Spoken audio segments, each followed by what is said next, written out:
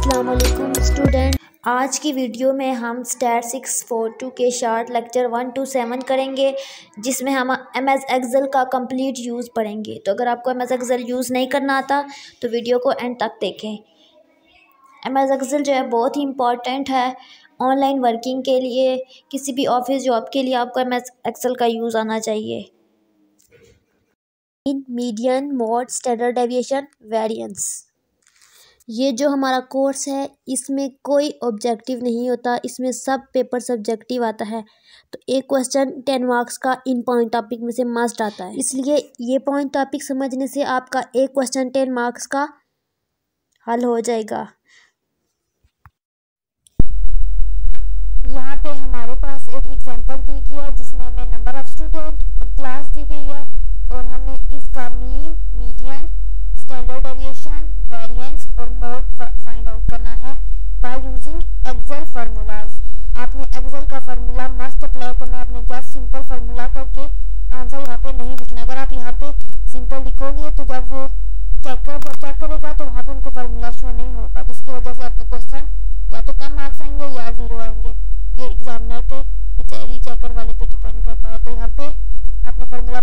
करना है। यहाँ पे आपने क्या करना है? सबसे पहले मीन वाले बॉक्स के आगे mean is equal to mean के लिए क्या फॉर्मूला है?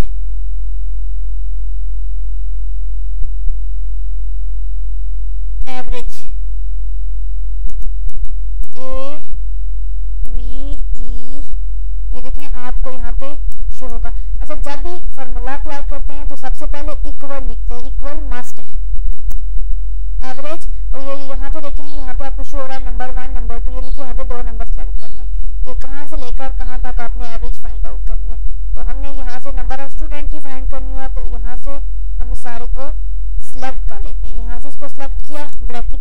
just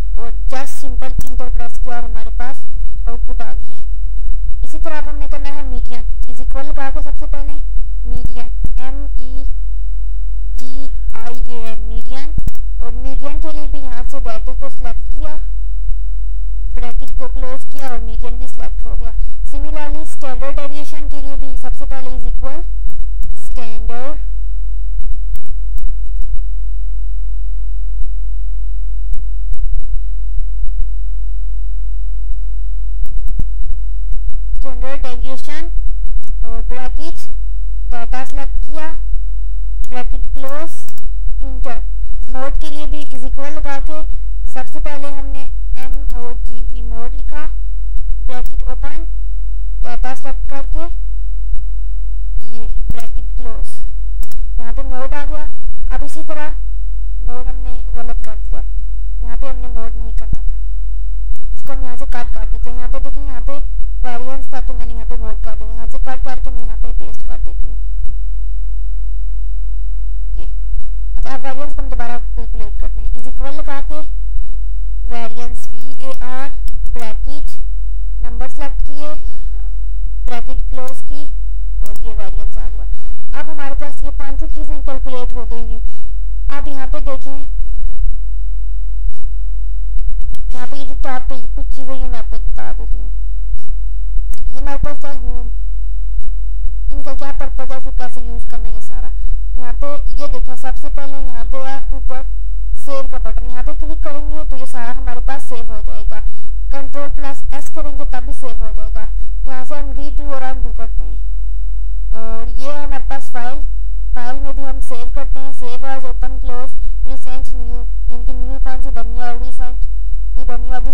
किया सेंड किया सारा फिर होम ऑप्शन आता है। होम में यहाँ पे देखें डिफरेंट ऑप्शन है। कट करना है कॉपी करना है पेंटर बोल्ड करना है। अगर आपने जैसे ये नंबर ऑफ़ क्लास स्टूडेंट हम चाहते हैं, थोड़ा हाइडिंग है तो इसको बोल्ड करें।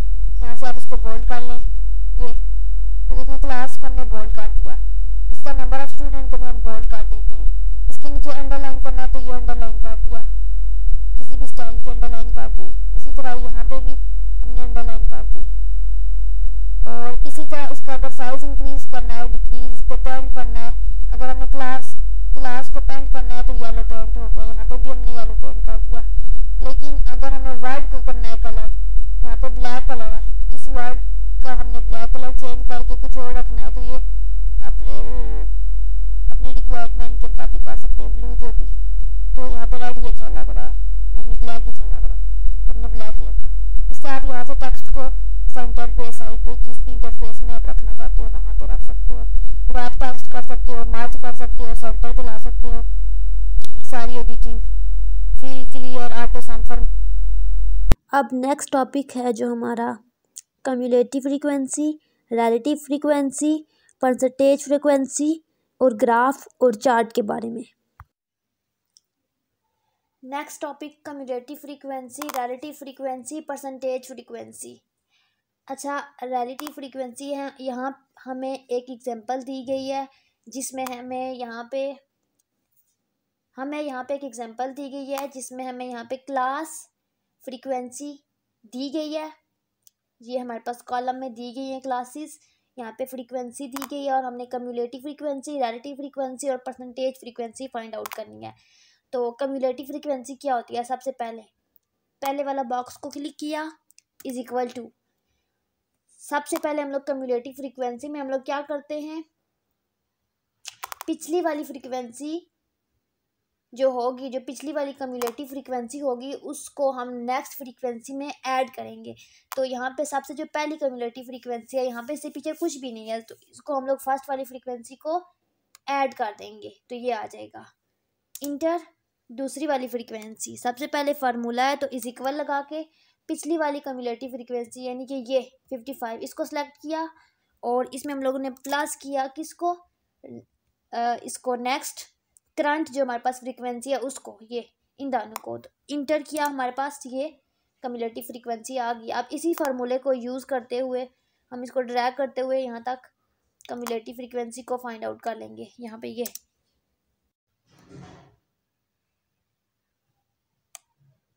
यहाँ पे हमारे पास सारी फ्रीक्वेंसीज आ गई हैं। आप देख सकते हैं, यहाँ पे हमारे पास सारी कम्युलेटिव फ्रीक्वेंसीज आ गई हैं। अब हमने फाइंड करनी है रिलेटिव फ्रीक्वेंसी तो यहाँ पे हमें कम्युलेटिव फ्रीक्वेंसी चाहिए तो यहाँ पे सबसे पहले हमने लिखा इज़ इक्वल टू तो कम्युलेटिव फ्रीक्वेंसी हमारे पास यहाँ पे इतनी ज़्यादा है, ये देखें और हमें एक चाहिए। तो हमने इन सबको सम कर देना है। तो सम के लिए हम लोगों ने सम सम ब्रैकेट कहाँ से कहाँ तक इन सारी कम्युलेटिव फ्रीक्वेंसी को सम करना है। तो यहाँ पे ब्रैकेट क्लोज इंटर तो हमारे पास टोटल कम्युलेटिव फ्रीक्वेंसी आ गई है ट्वेल्व सेवेंटी वन इसी तरह अब हमने रिलेटिव फ्रीक्वेंसी फाइंड करनी है तो रिलेटिव फ्रीक्वेंसी में हम करते क्या है? इसमें हम सबसे पहले हम लोग कम्यूलेटिव जो हमारे पास करंट फ्रीक्वेंसी है, वो सबसे पहले तो हम फार्मूला लगा रहे हैं तो हमने इक्वल ज़रूर लिखना है। यहाँ पे इक्वल लिखना है तो हमने अगर फिफ्टी फाइव ये चाहिए तो ये लिखा, और इसको हम डिवाइड करते हैं total frequency total cumulative frequency से ये ये जो हमारे पास आई है, ये। तो यहाँ पे हमारे पास आ जाएगी फ्रीक्वेंसी रिलेटिव फ्रीक्वेंसी और इसी फार्मूले को यूज़ करते हुए हम इसको ड्रैग करके नीचे लाएँगे और सारी रिलेटिव फ्रीक्वेंसी हम लोग फ्रीक्वेंसी फाइंड आउट करनी है। तो परसेंटेज फ्रीक्वेंसी के लिए हम क्या करते हैं? इज़ इक्वल टू ये जो रिलेटिव फ्रीक्वेंसी है ये, इसको हम मल्टीप्लाई कर देते हैं हंड्रेड से। यहाँ पे हमारे पास आ जाती है परसेंटेज फ्रीक्वेंसी। इसी तरह इसी फ्रीक्वेंसी को ड्रैग करेंगे यहाँ तक और हमारे पास सारी परसेंटेज फ्रीक्वेंसी आ गई हैं। अब हम लोगों ने यहाँ पे हमें relative frequency is equal to sum of all relative frequency तो हमारे पास आल रिलेटिव फ्रीक्वेंसी क्या है? ये, इनको सेलेक्ट किया। इसी तरह is equal to sum of all percentage frequency यहाँ पे हमारे पास परसेंटेज फ्रीक्वेंसी आ गई है। हमने यही फाइंड आउट करनी थी। यहाँ पे आपने, अब आपने ग्राफ ड्रा करना है तो हमने यहाँ से क्लास को और फ्रीक्वेंसी को, हमने इन दानों का बनाना है तो इन दानों को सिलेक्ट किया। इंसर्ट पे गए यहाँ पे टॉप पे, और यहाँ पे हमारे पास डिफरेंट किस्म के ऑप्शन है। कॉलम लाइन पाए बार एरिया स्कैटर अदर तो आप इनमें से जो भी आप ड्रा करना चाहते हो, आप ड्रा कर सकती हो। मैं यहाँ पे कौन सा करूँ? इस यहाँ पे मैं पाई करती हूँ। पाई पे सेलेक्ट किया तो ये देखिए पाई में भी डिफरेंट स्टाइल हैं। आप कौन सा स्टाइल में करना चाहते हो? मैंने ये सिलेक्ट किया तो ये देखें, ये मेरे पास फ्रीक्वेंसी और ये हमारे पास क्लास के दरमियान में बन गया। अगर हमने यहाँ पे ये वाला बनाना है तो ये देखें, ये ऐसा बन गया है। तो आप यहाँ पे अगर चाहते हैं परसेंटेज शो हो तो इस टाइप का भी बन जाता है। कलर चेंज कर सकते हैं। यहाँ से ये डिज़ाइनिंग चेंज कर सकते हैं। लेकिन अगर मैंने यहाँ से कोई और बनाना है, जैसे ये वाला बनाना है तो यहाँ से भी मुझे डिफरेंट ऑप्शन शो हो रहे हैं। ये देखें कॉलम में जाएँ तो कॉलम वाले, ये लाइन में पाए में तो जो भी आप चाहें वहाँ से आप सेलेक्ट कर सकते हैं। यहाँ से मैं अब अब कॉलम बनाना चाहती हूँ तो ये मैं बनाना चाह रही हूँ, चले। तो ये मैंने सेलेक्ट किया यहाँ पे ओके किया और मेरे पास ये देखें, ये अब ये वाला बन गया है। इसी तरह आप हर किस्म के बना सकते हैं। Now next topic is maximum minimum range interquartile range coefficient of variation next हम फाइंड आउट करेंगे मैक्सिमम मिनिमम रेंज तो मैक्सिमम के लिए हमने क्या करना है? मैक्सिमम वाले बॉक्स के आगे हमने सबसे पहले लिखना है इज़ इक्वल टू मैक्स इसका फार्मूला है मैक्स ब्रैकेट और हमने डाटा सेलेक्ट करना है। तो हमने इन सब डाटा का हमने फाइंड आउट करना है। तो डाटा सेलेक्ट ब्रैकेट क्लोज और इंटर प्रेस मैक्सिमम आ गया। इसी तरह मिनिमम के लिए is equal to M I N minimum M mean bracket open data select bracket close enter maximum minimum आ गया। अब हमारा जो है नेक्स्ट है, वो है रेंज तो range is equal to maximum minus minimum, यानी कि मैक्सिमम माइनस मिनिमम। तो इंटर ये हमारे पास रेंज आ गई। नेक्स्ट हम जो फाइंड आउट करेंगे इंटर क्वार्टाइल रेंज तो जो हमारे पास इंटर क्वार्टाइल रेंज होती है, वो हमारे पास होती है Q three minus Q one यानी कि quartile three minus quartile one तो हमारे पास क्यू थ्री और क्यू वन पहले होना चाहिए। तो सबसे पहले हम क्यू थ्री फाइंड करेंगे तो Q three is equal to यहाँ पे टॉप पे फार्मूलाज पे जाएँगे, यहाँ पे इंसर्ट फ़ंक्शन ये ये जो है, इस पर क्लिक करेंगे और यहाँ पे ये जो बॉक्स है, इसके अंदर हम लोग लिखेंगे क्वार्टाइल लिखेंगे, क्योंकि हम लोगों ने क्वार्टाइल का फार्मूला क्वार्टाइल यहाँ पे क्वार्टाइल तो यहाँ पे ये देखें हमारे पास ऑप्शन आ गए ये क्वार्टाइल वाले को सिलेक्ट किया, ये ओके किया और यहाँ पे पूछ रहे हैं अड़े, यानी कि किस अड़े का आपने फाइंड आउट करना है क्वार्टाइल तो हम लोगों ने यहाँ से लेकर, यहाँ तक इसका फाइंड आउट करना है। ये हमें जो एग्जांपल दी गई है, यहाँ से यहाँ तक, यानी कि ए थ्री से ए ट्वेल्व तक हमने सेलेक्ट किया और क्वार्टाइल कह रहे हैं कि कौन सा क्वार्टाइल फाइंड करें थ्री या क्वार्टाइल वन तो हम क्वार्टाइल थ्री फाइंड आउट कर रहे हैं तो थ्री लिखा ओके किया। तो ये हमारे पास क्वार्टाइल थ्री का आंसर देखें आ गया बॉक्स में। इसी तरह क्वार्टाइल वन का भी हमने फाइंड आउट करना है। सबसे पहले इज़ इक्वल डालना है। फार्मूला में जाके इंसर्ट पे जाना है। सेम वैसे ही लिखा क्वार्टाइल यहाँ पे हमने अभी ओपन किया था तो मेरा ओपन हो गया है। इसलिए अगर आपका ओपन ना हो तो यहाँ पे दोबारा लिख लें। ओके किया। वही अरे सेलेक्ट की। ये सेलेक्ट की। और अब हम कौन सा क्वार्टाइल फाइंड आउट करें? वन तो वन किया। और हमने यहाँ पे इंटर किया। तो ये हमारे पास क्वार्टाइल वन आ गया। लेकिन हमें चाहिए क्या हमने फाइंड आउट क्या करना था?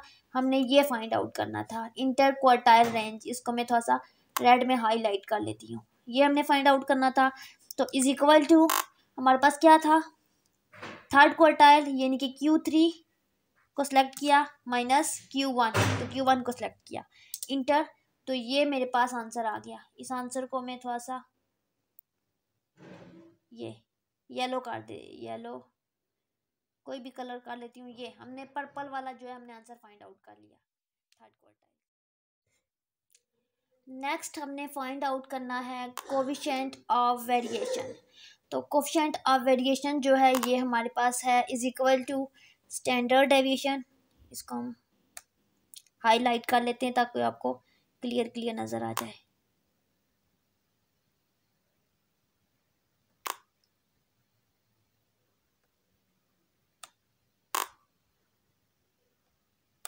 ये, इसको हम लोग कर लेते हैं। रेड कलर से मेंशन कर लेते हैं। या किसी लाइट कलर से येलो से। यहाँ से हमने कोफिशेंट ऑफ़ वेरिएशन फाइंड करना है, जो कि इज़ इक्वल होता है standard deviation divided by mean multiply by hundred यानी कि हमें स्टैंडर्ड डेविएशन पहले पता होनी चाहिए और मीन पता होना चाहिए। तो यहाँ पे हम स्टैंडर्ड डेविएशन निकाल लेते हैं एस डॉट डी तो इसका फार्मूला क्या हमने पढ़ा था? Is equal to S T D S T D E V standard deviation और ब्रैकेट ओपन और हमने किस चीज़ की? यहाँ से यहाँ तक जो डाटा है, इसका फाइंड आउट करना है। तो सिलेक्ट ब्रैकेट क्लोज एंटर की स्टैंडर्ड डेविएशन आ गया।